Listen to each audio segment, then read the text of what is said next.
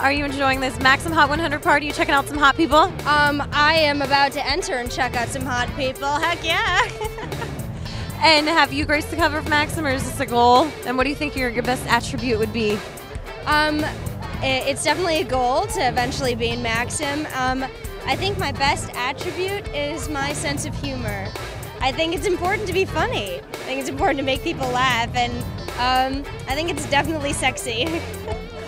A sense of humor is definitely sexy. And tell me, what are you here promoting for yourself?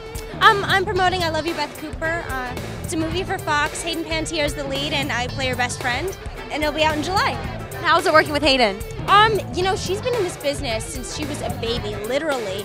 She is such a pro, and it was great, you know? It, it, we worked like a well oiled machine. It just bam, bam, bam. There wasn't any trouble, and, and she's so on top of it. It was great. And what do you have coming up next?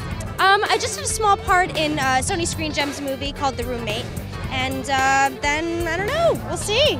Waiting and seeing what else I work on. We'll go have some fun in there and drink some Dr. Pepper. Thank you, I will.